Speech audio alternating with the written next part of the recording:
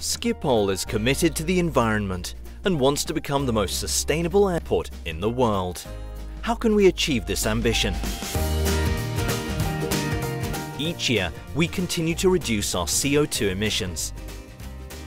Nowhere else will you encounter as many electric vehicles in use as at our airport.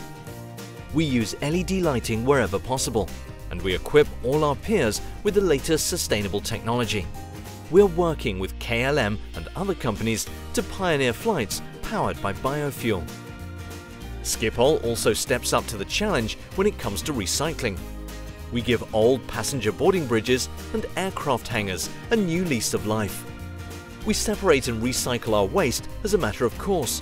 We even reuse non-everyday materials. For example, we use sustainable baggage conveyor belts that are 99% recyclable.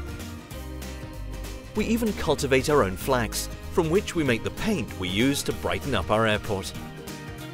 As well as our commitment to the environment, we also have the interests of our neighbours in mind.